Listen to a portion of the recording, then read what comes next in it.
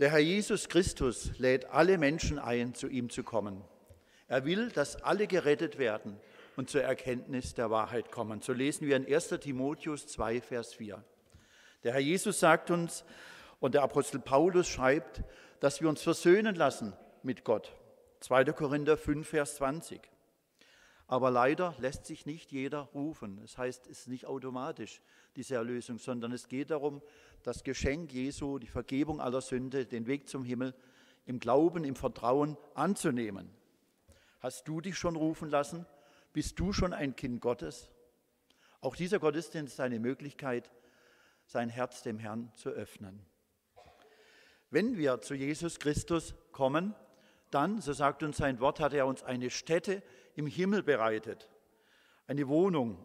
Er selber sagt in Johannes 14, 1 bis 3, Euer Herz erschrecke nicht, glaubt an Gott und glaubt an mich. Im Haus meines Vaters sind viele Wohnungen, wenn nicht, so hätte ich es euch gesagt. Ich gehe hin, um euch eine Stätte zu bereiten. Und wenn ich hingehe und euch eine Stätte bereite, so komme ich wieder und werde euch zu mir nehmen, damit auch ihr seid, wo ich bin. Es ist herrlich. Im Himmel für jeden, der glaubt an den Herrn Jesus, ist eine Wohnung bereit und der ihm nachfolgt in Gehorsam und Liebe. Wie werden die Gläubigen zu Jesus Christus kommen? Die Bibel spricht von der Auferweckung der Toten und der Verwandlung der Lebenden der letzten Generation der Christen. Die letzte Generation wird nicht des natürlichen Todes sterben, sondern zum Herrn hinweggenommen oder entrückt werden. Wir wissen nicht, vielleicht leben wir schon in dieser Zeit der letzten Generation der Gemeinde. Und beides geschieht in einem Augenblick. Die Auferweckung der Toten, die im Herrn gestorben sind zum ewigen Leben. Die anderen werden auch auferstehen, aber zur Verdammnis im Ort ewiger Qual. Und die Verwandlung der lebenden gläubigen, geretteten, durch den Geist Gottes wiedergeborenen Christen zur himmlischen Herrlichkeit in einem Augenblick. So lesen wir in 1. Thessalonicher 4, 15 bis 18 diese zentrale Stelle über die Entrückung. Ich lese ab Vers 13. Ich will euch aber, Brüder, nicht in Unwissenheit lassen über die Entschlafenen, also die Verstorbenen, damit ihr nicht traurig seid wie die anderen, die keine Hoffnung haben. Denn wenn wir glauben, dass Jesus gestorben und auferstanden ist, so wird Gott auch die Entschlafenen durch Jesus mit ihm führen. Denn das sagen wir euch in einem Wort des Herrn. Wir, die wir leben und bis zur Wiederkunft des Herrn übrig bleiben, werden den Entschlafenen nicht zuvorkommen. Denn der Herr selbst wird, wenn der Befehl ergeht und die Stimme des Erzengels und die Posaune Gottes erschallt, vom Himmel herabkommen und die Toten in Christus werden zuerst auferstehen. Danach werden wir, die wir leben und übrig bleiben, zusammen mit ihnen entrückt werden in Wolken zur Begegnung mit dem Herrn in die Luft. Und so werden wir bei dem Herrn sein alle Zeit. So tröstet nun einander mit diesen Worten. Also die Entschlafenen im Herrn und die lebenden Gläubigen. Wir werden beim Herrn sein, wenn er seine Gemeinde zu sich ruft. Hier steht im Griechischen der Begriff Entrückung griechisch harpazein, das heißt wörtlich entreißen, ergreifen, rauben, wegnehmen, wegnehmen von der Erde mit all ihrem Leid, mit ihrem Schmerz, mit ihren Krankheiten und Qualen. Die Entrückung ist also die Hinwegnahme der gläubigen, geretteten Christen von dieser Erde zum Herrn in sein Reich.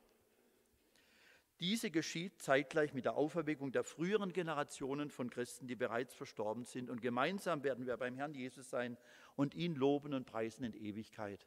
Freust du dich darauf? Ich freue mich sehr und möchte auch jeden Tag bereit sein, dem Herrn zu begegnen, gereinigt durch das Blut Jesu Christi. Nun, ganz wichtig, die Bibel spricht davon, dass wir den genauen Zeitpunkt, wann dies geschieht, nicht wissen können. Wir können keinen Termin berechnen. Der Herr Jesus sagt, Zeit und Stunde weiß niemand, allein der Vater im Himmel. So heißt es in Matthäus 13, 31 bis 33, Markus 13, 31 bis 33, Himmel und Erde werden vergehen, aber meine Worte werden nicht vergehen. Um jenen Tag aber und die Stunde weiß niemand, auch die Engel im Himmel nicht, auch nicht der Sohn, sondern nur der Vater. Habt Acht, wacht und betet, denn ihr wisst nicht, wann die Zeit da ist. Und ebenso sagt der Herr Jesus in Lukas Evangelium Kapitel 12, Vers 37 bis 40. Glückselig sind jene Nächte, welche der Herr, wenn er kommt, wachend finden wird. Also immer wach sein, immer bereit für den Herrn, so wie die klugen Jungfrauen, die genügend Öl bereithalten.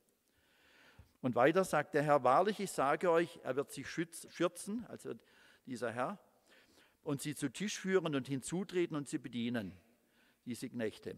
Und wenn er, der Herr, in der zweiten Nachtwache kommt oder in der dritten Nachtwache und sie so findet, glückselig sind jene Knechte also die bereit und wach sind.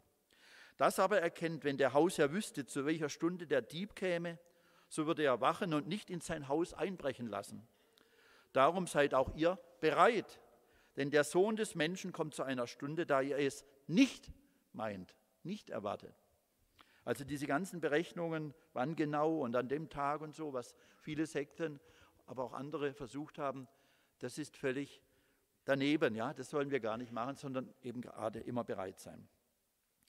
Dennoch, und ich möchte jetzt doch auch auf diese schwierige Frage kurz eingehen, dennoch wird in christlichen Kreisen viel darüber spekuliert, ob die Entrückung vor, während oder nach der sogenannten großen Trübsalzeit mit der Herrschaft des Antichristen und seines falschen Propheten geschieht. Viele gehen ja davon aus, diese 70. Jahrwoche in Daniel 9, 27 folgende, äh, dass die im ersten Jahrhundert geschehen ist, denke ich auch, aber dass sich dann auch nochmal wiederholt, nachdem viele Kriege sind über Jahrtausende oder Jahrhunderte, dass da am Ende nochmal diese letzte Jahrwoche ist. Und ähm, das halte ich auch durchaus für möglich, diese sieben Jahre. Die Bibel allerdings spricht von dreieinhalb Seiten, das möchten wir auch in der Offenbarung zur Kenntnis nehmen, da ist immer von dreieinhalb Seiten die Rede. Von daher ist diese Frage doch sehr schwierig und kompliziert, möchte ich jetzt auch hier nicht ausführen. Aber Nennt die Bibel überhaupt einen doch ungefähren Zeitpunkt? Wie gesagt, einen genauen Zeitpunkt können, dürfen wir nicht berechnen, aber gibt es doch irgendwo doch eine Zeitangabe, wann die Entrückung sein könnte? Das wird jetzt spannend, ja. Und tatsächlich, es gibt eine Stelle, wo ein Hinweis ist, ein Hinweis. Ich lese mal 1. Korinther 15, 51 bis 52. Siehe, ich sage euch ein Geheimnis. Wir werden zwar nicht alle entschlafen, wir werden aber alle verwandelt werden durch die Hinwegnahme. Plötzlich, in einem Augenblick, und jetzt kommt es zur Zeit der letzten Posaune. Da steht tatsächlich zur Zeit der letzten Posaune. Denn die Posaune wird erschallen und die Toten werden auferweckt werden, unverweslich, und wir werden verwandelt werden. Und wir wissen alle, es ist umstritten, was diese letzte Posaune ist. Denn dann könnte man ja sich genau auf den Zeitpunkt einstellen eventuell. Ähm, allerdings, es gibt auch vor den Posaunen noch die Donnergerichte in Offenbarung 10 und die bleiben verschlüsselt. Von daher weiß niemand, äh, was da alles noch kommt, vorausgeht und so weiter. Nun, was ist diese letzte Posaune? Manche Ausleger denken an die Posaune vom Posaunenfest des Alten Testaments. 3. Mose 23, Vers 24, da wird in Israel Posaune geblasen. Es gibt auch das Neujahrsfest, Rosh Hashanah, ähm, zur Eröffnung des Jahres, was aber da nicht im 1. Januar ist, sondern ähm, in, in der Mitte unseres Jahres. 3. Mose 23, Vers 24, 4. Mose 29, Verse 1 bis 6, also das Posaunenblasen, eines der Feste des alten Israel. Das ist durchaus nicht von zur Hand zu weisen, könnte eine Möglichkeit sein. Ich möchte es gar nicht bestreiten. Andere, das halte ich aber nicht für biblisch, denken an das Posaunenblasen im römischen Heer, wo zum Aufbruch geblasen wurde, aber das findet sich nirgends in der Heiligen Schrift. Und das andere, wohin ich selber tendiere, das ist die Frage, das naheliegendste an sich im Neuen Testament, ob es nicht auch die siebte Posaune in der Johannes-Offenbarung sein könnte. Diese letzte Posaune, von der immer wieder die Rede ist. Es gibt da zwei Stellen, wo diese letzte Posaune äh, erklärt wird, in Offenbarung 10, Vers ähm, ab Vers 4 lese ich mal, Offenbarung 10 ab Vers 4. Und als die sieben Donner ihre Stimme erhoben hatten, wollte ich schreiben. Da hörte ich eine Stimme vom Himmel zu mir sagen, versiegle, was die sieben Donner geredet haben und schreibe es nicht auf. Und der Engel, den ich auf dem Meer und auf dem, der Erde stehen sah, hob seine Hand zum Himmel auf und schwor bei dem, der von Ewigkeit zu Ewigkeit lebt, der den Himmel geschaffen hat und was darin ist, und die Erde und was darauf ist, und das Meer und was darin ist, dass es nun keine Frist, keinen Zeitaufschub mehr geben soll. Also die, die Zeit auf der Erde endet praktisch für die Gemeinde, sondern in den Tagen der Stimme des siebten Engels, wenn er posaunen wird, soll das Geheimnis Gottes vollendet werden. Und wir wissen, eines der Geheimnisse Gottes in der Bibel ist die Entrückung. Es gibt noch andere. Soll das Geheimnis Gottes vollendet werden, wie er seinen Dienern, den Propheten, angekündigt hat. Also keine Frist mehr, die Zeit für uns endet. Wir gehen dann in die Herrlichkeit zum Herrn. Ähm, das wäre bei, der, bei dieser Posaune nach den Donnern. Nun müssen wir schauen bei der siebten Posaune selber, ob da, das ist jetzt die Frage, ob da sich ein Hinweis auf die Entrückung findet. Das ist ja jetzt die spannende Frage. Und da lesen wir Offenbarung 11, ähm, die Verse 15 bis 18. Offenbarung 11, 15 bis 18. Der siebte Engel stieß in die Posaune. Da ertönten laute Stimmen im Himmel, die sprachen, die Königreiche der Welt sind unserem Herrn und seinem Christus zuteil geworden. Und er wird herrschen von Ewigkeit zu Ewigkeit. Also Christus tritt seine Herrschaft an. Und weiter, und die 24 Ältesten, die vor Gott auf ihren Thronen saßen, fielen auf ihr Angesicht und beteten Gott an. Und sprachen, wir danken dir, o oh Herr, Gott, du Allmächtiger, der du bist und der du warst und der du kommst, dass du deine große Macht an dich genommen und die Königsherrschaft angetreten hast. Und die Heidenvölker sind zornig geworden und dein Zorn ist gekommen. Und die Zeit ist gekommen, dass die Toten gerichtet werden und dass du deinen Knechten, den Propheten, den Lohn gibst und den Heiligen und denen, die deinen Namen fürchten, den Kleinen und den Großen, und dass du die verdirbst, welche die Erde verderben. Nun, was haben wir hier gehört? Wir haben gehört, jetzt bei der siebten die Zeit, da dein Zorn gekommen ist, wo jetzt der Zorn Gottes über die Erde ergeht, in Gestalt etwa der sieben Zornschalen. Und die Zeit ist gekommen, an der die Knechte, Propheten und Heiligen den Lohn erhalten. Und den Lohn können sie nur erhalten, nachdem sie oder nachdem wir dann, wenn wir es erleben, entrückt sind. Dann erhalten wir den Lohn, also das Preisgericht. Also ich habe zweierlei gesagt in Offenbarung 11 bei der siebten Posaune. Jetzt geht der Zorn Gottes über die Erde. Und jetzt bekommen die Knechte des Herrn ihren Lohn im Preisgericht. Ist doch sehr interessant. Also ich persönlich lese da die Entrückung heraus, aber wie gesagt, ich bin auch für andere Interpretationen durchaus offen. Es ist kein Thema, worüber man streiten sollte, sondern wie gesagt, es wird in der Bibel betont, alle Zeit bereit zu sein, dem Herrn zu begegnen, indem unsere Herzen gereinigt sind durch das Blut unseres Herrn Jesus Christus. Nun, dieses Zorngericht, 1. Thessalonicher 5, Vers 9, da heißt es ja, Gott hat uns nicht zum Zorn oder Zorngericht bestimmt, sondern zum Besitz des Heils durch unseren Herrn Jesus Christus. Das heißt, jeder, der wirklich den Herrn Jesus liebt, Reinigung hat durch sein Blut, gerettet ist, der hat eine Wohnung im Himmel und der kommt nicht in das Zorngericht mit der Folge der ewigen Verdammnis in der Hölle am Ort ewiger Qual. Und das Preisgericht für die Gemeinde, das wird beschrieben in 1. Korinther 3, Vers 11 bis 15. Da heißt es ja, einen anderen Grund kann niemand legen als den, der gelegt ist, welcher ist Jesus Christus. Das einzige Fundament. Wenn aber jemand auf diesen Grund Gold, Silber, kostbare Steine, Heu, Stroh, Holz, Heu, Stroh baut, so wird das Werk eines jeden offenbar werden. Der Tag wird es zeigen, weil es durchs Feuer geoffenbart wird und welcher Art das Werk eines jeden ist, wird das Feuer erproben. Wenn jemand das Werk, das er darauf gebaut hat, bleibt, so wird er Lohn empfangen. Nach der Entrückung. Lohn empfangen oder eben, wenn er auferweckt wird aus den Toten, ja, die schon entschlafen sind. Wird aber jemand das Werk verbrennen, so wird er Schaden erleiden.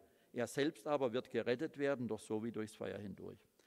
Hier ist die bekannte Stelle vom Lohngericht der Gläubigen, die eben nicht mehr ins Verdammungsgericht kommen.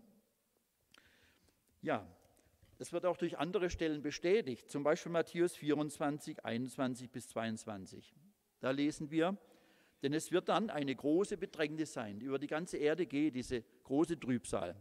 Das wird in Matthäus 24 beschrieben, wie sie nicht gewesen ist vom Anfang der Welt bis jetzt und auch nicht wieder werden wird. Also das wird am Ende geschehen.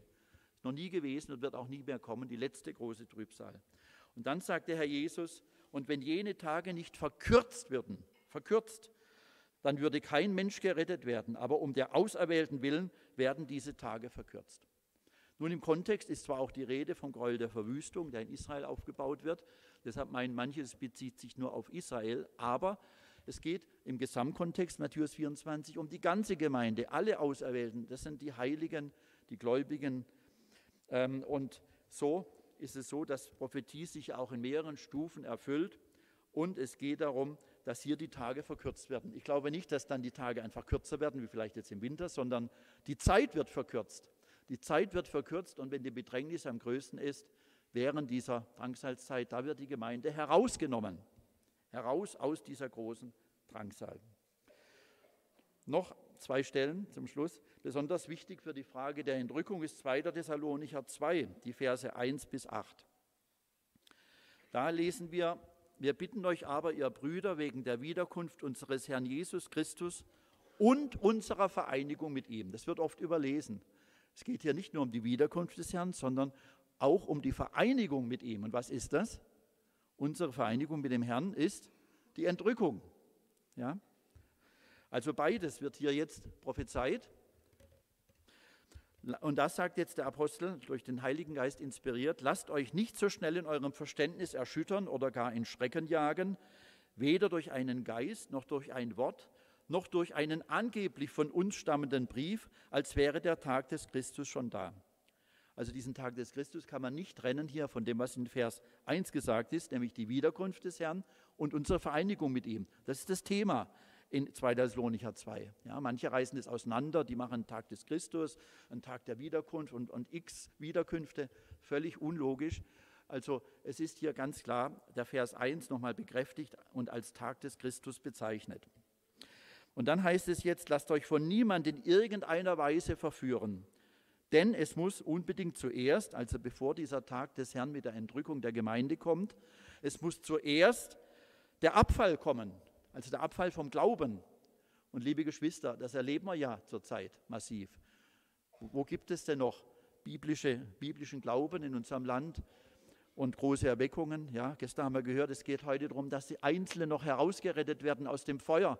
Die Zeit der großen Erweckungen ist leider vorbei. Das war im 16., 17., 18., 19. Jahrhundert, auch noch bis in die 60er Jahre des 20. Jahrhunderts. Aber jetzt leben wir, sehen viele so in der letzten Stufe der Endzeit wo die große Verführung triumphiert.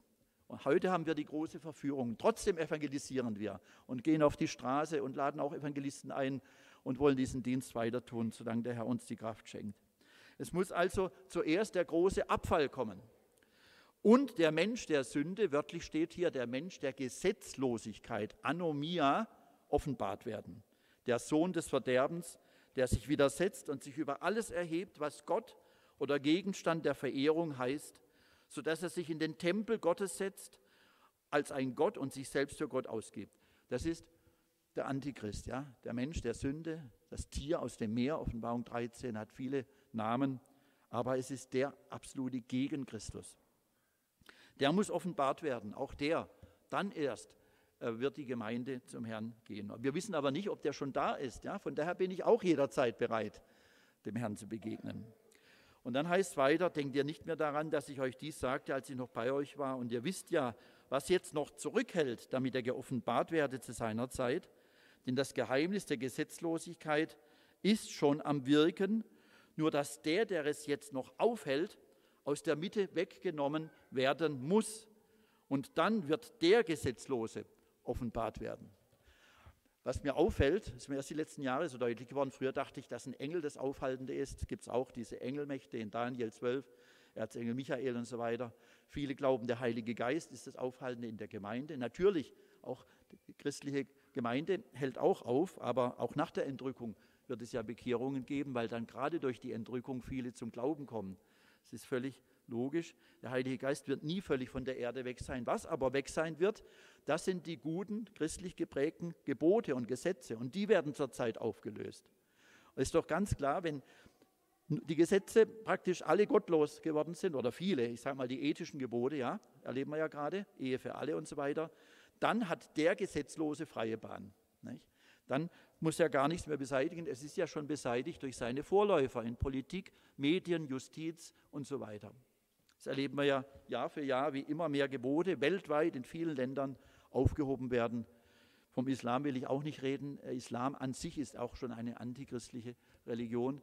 Ähm, aber auch in den Ländern, die sich bisher christlich nannten, werden die christlichen Werte immer mehr beseitigt, Schritt für Schritt, Punkt für Punkt. Und wir haben auch gestern gebetet für unsere Kinder.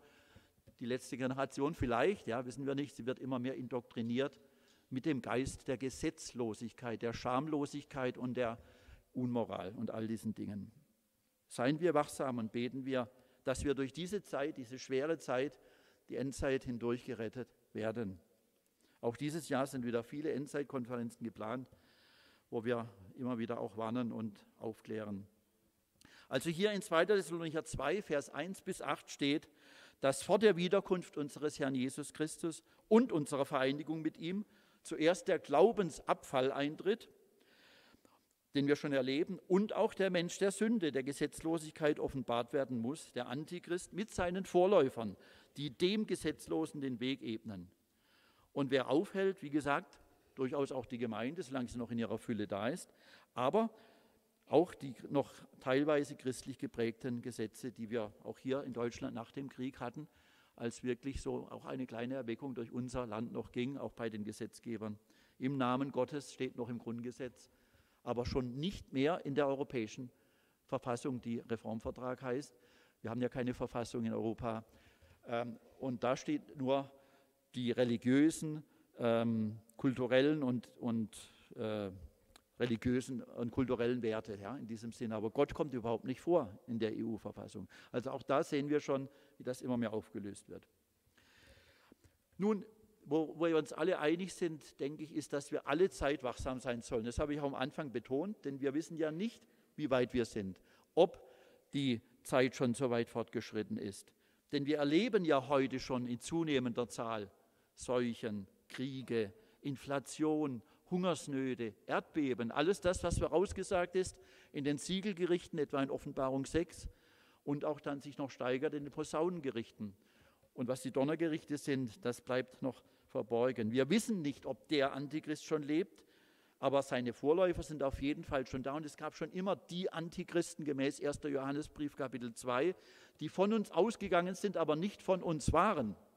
Also dieser Geist ist ja schon immer am Wirken. Wir wollen daher immer wachsam und bereit sein.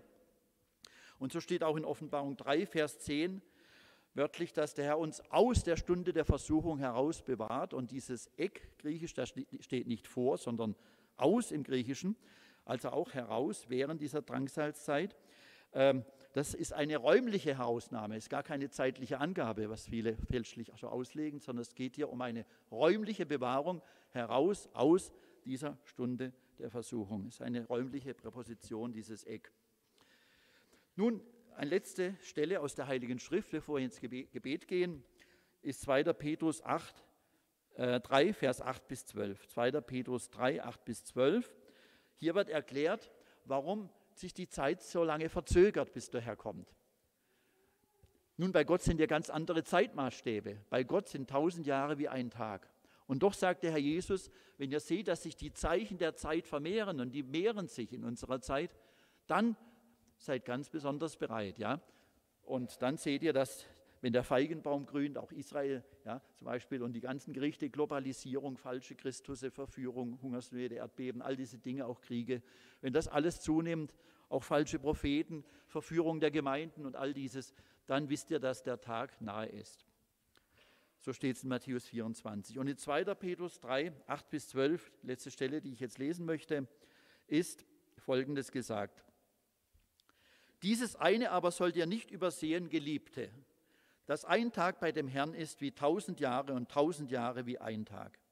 Der Herr zögert nicht die Verheißung hinaus, wie etliche es für ein Hinauszögern halten, sondern er ist geduldig gegen uns, weil er nicht will, dass jemand verloren geht, dass jemand in die Hölle geht, ja, sondern er will, dass alle gerettet werden, dass jeder Mann Raum zur Umkehr habe, steht hier wörtlich.